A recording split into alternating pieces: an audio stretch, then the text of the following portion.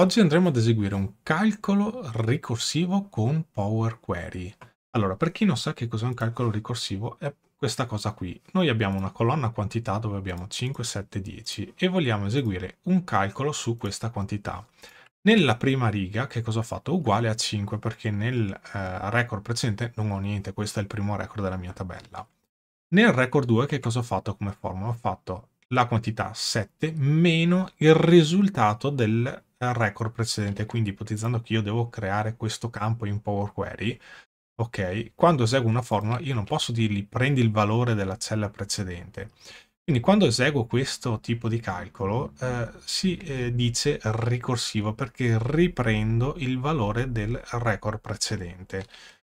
Se vado nel terzo record, anche qui prendo 10 meno il valore del record precedente che è 2 e questo 2 lo posso avere solo eseguendo questo tipo di calcolo. Non posso trovare una formula che mi eh, esegua questo calcolo nel modo corretto in tutte le celle. Quindi devo proprio andare ad eseguire un calcolo ricorsivo quindi riprendo la quantità che ho appena calcolato nel record precedente. Questo è un calcolo eh, ricorsivo questo tipo di operazione in DAX non è eh, praticabile, non si può proprio fare, o almeno per le competenze che ho io non può essere eseguito questo tipo di calcolo. Quindi è un calcolo che va eseguito eh, nel backend, nel database, quindi gli strumenti che abbiamo a disposizione su Excel è la griglia di lavoro e qui vedete è estremamente semplice eseguire un calcolo ricorsivo perché posso puntare il risultato eh, le formule, posso puntare la formula nelle celle che io eh, desidero, quindi con Excel è facilissimo fare questo tipo di calcoli, però abbiamo tutti i nostri limiti, le formule sono lente, abbiamo milioni di righe e così via. Pensando sempre in ambito business intelligence, ci troviamo di solito a lavorare in quest'ottica su un SQL Server oppure nel nostro caso se avete solo Excel Power Query, quindi qua potete scegliere se eseguire il calcolo qui e poi eh, importarvi il risultato in Power Query e quindi avete eseguito un calcolo ricorsivo attraverso Excel oppure eseguire il calcolo eh, direttamente all'interno di eh, Power Query. Dipende anche perché poi eh, avete magari 10 milioni di righe, su Excel non potete eseguire questo calcolo in 10 milioni di righe, invece su Power Query può elaborarlo. Ovviamente il calcolo ricorsivo è molto esoso di eh, risorse, che lo calcoliamo su Power Query, che lo facciamo in SQL Server, o dove noi vogliamo, ad eccezione di Excel che ha questa semplicità proprio per come è strutturato, abbiamo una griglia di lavoro, consuma molte, eh, molte eh, risorse. Nota di servizio, se lo dovete calcolare in SQL Server, la funzione da utilizzare è lag, che permette di leggere il record precedente. Se dovete andare a leggere il, il record successivo, è lead. Quindi non entro nel dettaglio delle funzioni di SQL perché oggi ci concentriamo su uh, Power Query. Ok, capita questa cosa qua, quindi eh, questa cosa semplicissima del calcolo ricorsivo, andiamo a vedere l'esercizio di oggi che è abbastanza complesso, però ho cercato di creare un caso eh, realistico che ho eh, estrapolato da un esercizio che ho fatto con un mio cliente, in modo che eh, eh, vediate una logica fatta bene di un calcolo ricorsivo che eh, poi si cala effettivamente nella realtà dei fatti di un calcolo che potreste andare a calcolare. Ok, Andiamo a vedere l'esercizio come funziona. Qui ho la mia tabella di partenza, qui ho il calcolo fatto in Excel e sulla destra ho il risultato eh, che ottengo da Power Query, quindi avrò una colonna con il calcolo ricorsivo già calcolato all'interno del mio eh, database.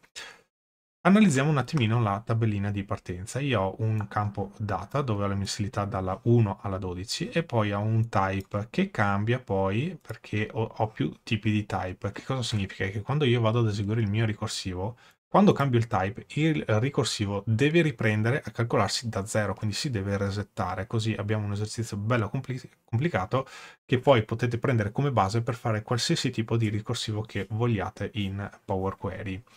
Qui che cosa ho? Una colonna quantità che sono praticamente i contratti che ho acquisito nella mensilità eh, corrente. E nell'ultima colonna ho una percentuale di recesso che deve essere applicata ai contratti che ho acquisito. Però c'è una particolarità, quando io acquisisco un contratto in una mensilità non subisce nessuna, eh, nessun tipo di recesso perché il primo mese comunque il contratto viene mantenuto il recesso inizia ad applicarsi il mese successivo, quindi questi 1609 andrò a perdere il 380 dal mese 4 e poi per ogni mensilità che vado avanti questi 1609 perderanno un ulteriore 380, il mese successivo perde un ulteriore 380, quindi questo 1609 al 12 di dicembre avrà perso eh, 380 per ogni singola mensilità. Questa cosa deve essere eseguita anche per tutti i nuovi contratti che vengono acquisiti nelle mensilità successive. Andiamo nel caso sotto dove ho uh, tutte le mensilità uh, popolate così è un po' più semplice da capire. Quindi nei primi due mesi non ho acquisito niente, nel terzo ho acquisito 1400 contratti. Che cosa vado a fare di qua? Nella prima colonna vado a calcolarmi praticamente il recesso dove abbiamo detto che sul mese corrente non c'è nessun tipo di eh, recesso ma inizio a calcolarlo dalla colonna successiva. Difatti prendo il 1400 e lo moltiplico per il 380 così so che ho un recesso di 53 pezzi di 53 contratti in questa successiva che cosa faccio? Faccio semplicemente eh, il delta, quindi faccio 1400 meno i 53 e ottengo 1347, che è il 1400 scorporato del eh, 380 di recessi. Quindi nel mese 4 i miei 1400 contratti acquisiti nel mese 3 diventeranno 1347. Poi qui che cosa vado a fare? Vado nella verde, ho fatto i colori proprio per differenziare la cosa. Nella uh, cella verde che cosa succede? Che qui vado a prendere il 1347 perché sono in una seconda mensilità successiva a quando ho acquisito il 1400 e li devo scorporare, vedete I8 che è questa cella qui, li devo scorporare di un ulteriore 380 perché ogni mese che vado avanti, come dicevamo, devo scorporare il 380.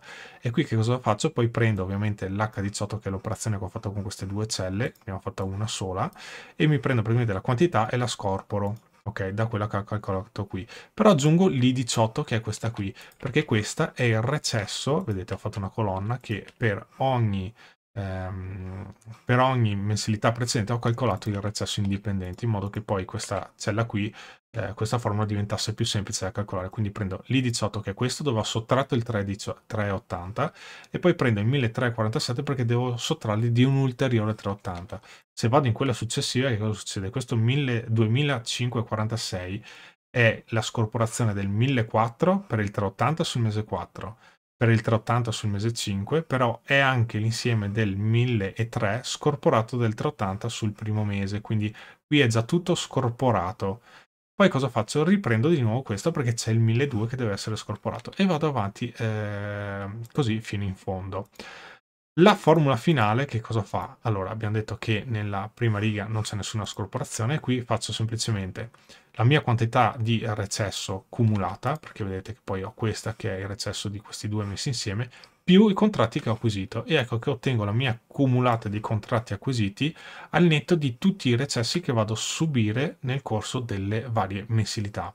Vedete che vado sempre spesso a riprendere, eh, in questo caso no, ma qui eh, neanche, in questo caso vado ad eseguire proprio il calcolo ricorsivo che è la cosa complicata che è da fare in Power Query, che ripeto in DAX non si può fare, quindi lo dobbiamo fare a livello di eh, database. Ok, capito l'esercizio e eh, capite un po' le formule, spero siate riusciti a seguirmi. Andiamo a vedere come eseguire questo tipo di calcolo all'interno di Power Query, come prendiamo il record appena precedente sul calcolo che stiamo andando ad eseguire. Allora, andiamo, apriamo Power Query, quindi io ho preso semplicemente questa tabella e ho fatto praticamente dal menu dati e gli ho detto da tabella intervallo, così l'ho importata nel mio uh, software. Qui che cosa trovo? Ho my table in with index, perché qui per poter eseguire il calcolo ricorsivo devo aggiungere una colonna indice. E qui ho fatto un primo calcolo, anche qui l'ho scorporato in due pezzi per semplificare un attimino la cosa, anche perché non sarebbe comunque calcolabile questo tipo di operazione che sto facendo se non lo facciamo con due pezzi, perché vedete le formule sono abbastanza complicate, quindi prima nel primo caso vado a calcolare questa colonna, eh, vado a calcolare, scusate, vado a calcolare questa, aspettate che guardo che non mi ricordo più, ok sì, nel primo caso, nel primo passaggio calcolo questa colonna, nel secondo calcolo questa e nel terzo vado a calcolare questa. Quindi andiamo a vedere. Alla fine eh, capita una, eh, sono capite tutte. Quindi qui mi sono portato su tutto l'origine questa cosa, poi ho fatto il modificativo in modo da settare i miei eh, campi e qui ho aggiunto la colonna indice. Come faccio ad aggiungere la colonna indice? Vengo qui, vado sul menu ehm, aggiungi colonna, faccio indice. Per farlo funzionare nel modo corretto dovete fare da 0, non partite da 1 perché altrimenti la formula poi che vi mostrerò va scritta in modo differente, quindi utilizzate da 0. Quando cliccate da 0, che cosa succede? inserisce un indice e lui inizia a numerare tutti i nostri record 0, 1, 2, 3, 4, 5, 6 e così via. Poi che cosa faccio? Per far funzionare correttamente il nostro programma noi dobbiamo ordinare le righe in modo tale che poi quando andiamo a prendere il valore del record precedente sia posizionato effettivamente nel punto giusto. Quindi faccio un ordina righe. Nel mio caso che cosa faccio? Do priorità 1, quindi eh, vado a ordinare prima questo campo e gli, e gli metto che lo voglio ordinato in ordine crescente. Così, essendo che questo è il mio cluster che poi va a cambiare e ogni volta che il cluster cambia devo resettare il mio recesso, ordino prima questa colonna e poi ordino per seconda, vedete che qui c'è un 1 perché l'ho ordinata per prima e qui c'è un 2, quindi la priorità di ordinamento prima va su questa, quando ho ordinato questo lui ordina anche questa colonna. Vedete che di fatti 0, 1 arriva fino a 12 e poi ricomincia. Perfetto, adesso così, anche se eh, vedete che anche qui era ordinata nel modo corretto, però è sempre buona cosa mettere l'ordinamento forzato nel caso poi nella base dati arrivi su qualche record eh, shittato nel modo sbagliato. Con l'ordinamento non sbagliate mai, avete sempre i record ordinati come a voi servono per eseguire poi il calcolo ricorsivo. Quindi, messo questo ordinamento di sicurezza, andiamo a calcolare la prima colonna calcolata, che appunto è ehm, questa qua che vediamo qua. Allora, quindi andiamo a calcolare il recesso per ogni singola mensilità. Vedete, 5,97, 96 è il recesso di questi eh, 100, selezioniamo il record così vedete che questi 96 è il recesso del 380 di questi 100 e così via. Per fare questa cosa, che cosa succede? Io qui comunque devo prendere il 1690 che è sul record precedente, quindi possiamo vederlo come un precalcolo uh, ricorsivo anche questo. Non mi prendo il risultato della cella precedente, però prendo comunque un valore di un record precedente. Senza fare grossi castelli, cosa ho costruito? Questa è la formula, quindi ho semplicemente fatto un aggiungi colonna, colonna personalizzata, e qui mi sono messo a scrivere la formula, che se vado poi sulla rotellina la trovate qui. Quindi, se io faccio, proviamo a fare un um, Ctrl Shift avanti, non va, Ctrl Shift, Ctrl Alt, era un sistema per zoomare, ok, non mi viene. Ah no, era Ctrl, eccolo qua, Ctrl Shift più, Ok, così facciamo un bel zoom, che qui abbiamo uno zoom più alto, togliamo anche i passaggi applicati, vediamo se mi dà lo zoom anche qui, qui non ho lo zoom quindi sto un attimino fuori. Ok, tolgo i passaggi applicati e guardiamo un attimino questo. Allora, questo è quello che trovate dentro il passaggio applicato, questa cosa qui la scrive lui perché dice aggiungi una colonna, parti dal passaggio origine e chiama il campo quantità, poi per ogni riga esegui questo tipo di eh, calcolo. Andiamo a capo. Quindi facciamo ancora un po' di zoom, ok. Qui che cosa vedo? Che cosa vado a fare? Mi prendi if list contains e mi, gli dico la mensilità 1, 2 e 3, ok, del campo data, quindi vado ad eseguire questo tipo di controllo, se devo cercare più valori si fa con list contain e gli metto la graffa qui, è importante mettere la graffa. E dico allora mi metti 0, quindi io voglio che nelle prime mensilità non mi calcoli mai niente perché nel caso specifico che sto proponendo nelle prime due mensilità eh, non ho niente e nella terza non voglio andare a calcolare eh, nessun tipo eh, di ehm, valore, quindi nei primi tre non ho niente perché primo, la prima acquisizione di contratti ce l'ho nel mese 3 e il primo calcolo eh, con il recesso lo vado a calcolare nel mese 3, quindi ho eseguito questo if e ho messo 0. Invece se sono dalla mensilità 4 in poi vai a calcolare il recesso, quindi che cosa gli dico? Poi gli dico Ordinate righe. Che cos'è questo ordinate righe? Riprendiamo uh, i passaggi applicati. È il passaggio appena precedente, quindi gli dico prendi i valori dalla uh, tabella che è presente nel passaggio precedente e poi apro la graffa. Facciamo ancora un po' di zoom così vedete ancora meglio.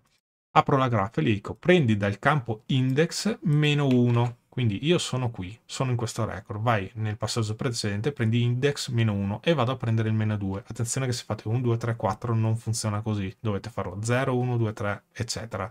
Così funziona esattamente come ve lo sto spiegando. Quindi vai a fare il meno 1 così mi prende il, i valori del record precedente. Quindi vai sul passaggio precedente, dal campo index vai indietro di un valore, quindi dal 3 vado al 2 e mi prende il campo, il valore che c'è dentro il campo quantità. Quindi questa cosa qua che vedete qua prende semplicemente questo 1609 che è qua. Quindi io sto calcolando questo valore in questo record, nel record 4. Con questa operazione vado a prendermi il valore del record precedente della colonna quantità, quindi 1609. Poi lo moltiplico per il recesso. Questo recesso non è il 380 della riga precedente perché questo mi tira fuori il valore della riga precedente. Quando moltiplico, se volessi prendere il recesso della riga precedente, dovrei ripetere questa operazione, quindi andare qui e scrivere di nuovo questa operazione, che però non interessa perché dobbiamo prendere la percentuale sul mese corrente. Quindi prendo la quantità e la moltiplico per il recesso. Poi la sommo con la quantità del mese precedente. Così ottengo appunto questo valore qua. Ok, io qui l'ho fatto in un passaggio al posto di fare due formule, ma ottengo questo valore qua. Quindi qui abbiamo già visto come andare a prendere le informazioni del record precedente. Ok, questo però di un altro campo, non di se stesso. Quindi questo è il calcolo. Allora, faccio un attimo di dezoom, torno indietro, e qui ho ottenuto il primo risultato. Per poter eseguire il, lo stesso tipo di operazione, ma sul campo che sto calcolando, ok, che qui proprio la complessità, perché io qui sto calcolando questo campo, ma se lo sto calcolando, come faccio a prendermi il valore del, del record precedente se lo sto calcolando in, in real time in questo momento? Bisogna andare a creare una tabella di buffer. È l'unico modo per poter fargli sentire il valore del campo stesso che stiamo calcolando. Quindi che cosa succede? Io vado a creare una nuova query, quindi possiamo fare dal menu home, andiamo su nuova origine, facciamo altre origini e facciamo query vuota.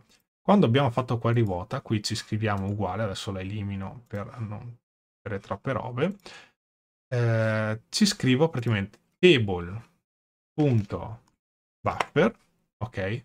Quindi andiamo a creare una tabella di buffer volatile. Dentro le parentesi gli do il nome della tabella dal quale io devo partire. Quindi mi prendo my table with index perché qui ho calcolato l'index, l'ho chiamata così. Quindi lui prenderà il risultato dell'ultimo passaggio presente in questa, in questa query e prende questa tabella e eh, me la mette in eh, memoria, quindi la bufferizza, ok? La metti in memoria. Fatta sta cosa, noi possiamo andare a creare una nuova colonna calcolata. Quindi possiamo andare a fare aggiungi colonna, colonna personalizzata.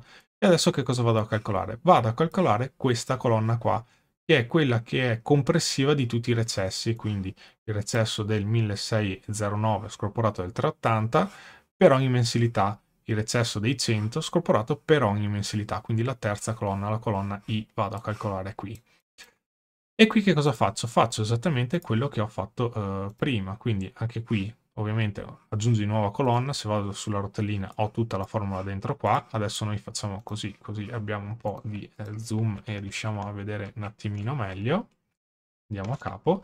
E qui che cosa gli dico? Allora, se è 01, 02, 03, quindi le prime mensilità, metto anche qui 0, quindi non vado ad eseguire nessun calcolo sulle prime tre mensilità. Nella quarta mensilità gli dico, perfetto, mi fai buffer table, che cosa significa? Che io qui non vado a prendere il passaggio precedente come abbiamo visto uh, qui, perché qui che cosa abbiamo fatto? Gli abbiamo detto origine righe, quindi prendi i valori che sono presenti nel record precedente, ok? Nel nostro caso, per poter fare il ricorsivo sullo stesso campo che stiamo andando a calcolare, dobbiamo usare la tabella di buffer, quindi qui non posso prendere il passaggio precedente perché non funziona, ok? Quindi qui gli dico proprio buffer table index meno 1, quindi lui ovviamente quando arriva qui, ok, mi fa l'index meno 1, va qui, mi prende il recesso cumulato che è questa, la colonna che io sto andando a calcolare perché vedete l'ho chiamata così, è proprio questo il campo, quindi gli dico va indietro di 1 e prendi il valore che hai sul record precedente, con la tabella di buffer funziona e la somma alla quantità del recesso uh, mese e quindi ottengo questo tipo di risultato. Poi faccio un else, quindi questo per il mese 4, perché è da dove inizio a calcolare il mio primo recesso. Nei mesi successivi che cosa vado a fare? Se faccio sempre un buffer, index meno 1, quindi quando sono qua cosa vado a fare? Mi prendo il recesso accumulato, quindi 1547, e lo sommo alla quantità del mese corrente, quindi 1547 e ehm, 1547, ok? E lo sommo al 96, quindi vado a sommare questa quantità. Lo sommo a che cosa? Al recesso cumulato, che è quello del mese precedente, moltiplicato per 380, perché vado a togliere il 380 del recesso cumulato. Ok, questo è il mio calcolo ricorsivo, quindi la complessità sta tutta uh, qui. Adesso qui la formula è un po' complicata, no? Perché ho fatto più if, eccetera. Però alla, alla, in sintesi, per andare a prendermi il records precedente, è semplicemente creare una tabella di buffer, la richiamo, vado col campo index in modo da poter eh, fare index meno 1 e mi prendo il valore del record precedente richiamando il campo che sto andando a calcolare. Questa è la tecnica, che prendo il valore di un altro campo o del campo eh, stesso, questa è sempre la tecnica che devo andare ad utilizzare. Quindi se sono sul campo corrente, tabella di buffer e richiamo la tabella di buffer. Se sono a prendere il valore precedente di un altro campo, specifico semplicemente nel, eh, il nome del passaggio applicato precedente. E così vado a calcolare proprio il mio eh, ricorsivo.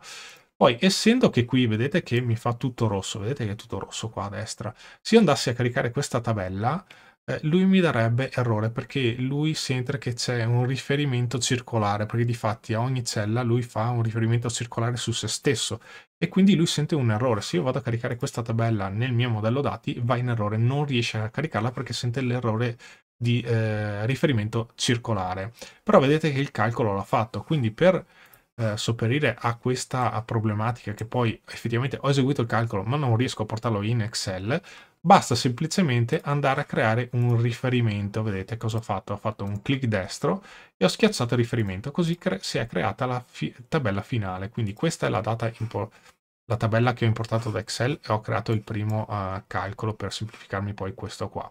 Qui ho creato la tabella di buffer perché devo fare il ricorsivo su se stesso, poi ho fatto un riferimento della buffer che è final result e quindi qui ho appunto questo risultato. Poi che cosa faccio? Vado a calcolare l'ultima colonna che è questa qui che fa la somma di questo più la quantità, quindi vado ad aggiungere la quantità e faccio recesso cumulato che è quello ho calcolato qua, più la quantità e ottengo appunto poi il mio uh, cumulato. Rimuovo tutte le colonne eh, di calcolo che non servono, quindi tolgo l'indice, la quantità di recesso mosso il recesso cumulato in modo da avere solo la mia quantità netta uh, al recesso. Modifico il tipo in modo da metterlo a 1, 2, 3 e praticamente ho finito. Vado poi a fare un bel chiudi e carica in e porto nel mio modello solo la final result. Così eh, facendo ho appunto creato il mio bel calcolo ricorsivo e posso andare ad utilizzarlo in semplicità all'interno del mio modello dati di eh, Power. Ok, anche con questa lezione è tutta, spero sia stato di vostro gradimento. Sapete che per chi è abbonato a eh, Legrand per andare a scaricare l'esercizio lo trovate in descrizione sotto il video. Sperando sia stato tutto di vostro gradimento, lasciate un bel like, iscrivetevi se non siete ancora iscritti, se invece vorrete supportarmi eh, per creare eh, continuamente video di valore come questo, magari pensate a stipulare un abbonamento così mi sosterrete. Vi ringrazio molto per l'attenzione, ci vediamo al prossimo video. A presto, ciao!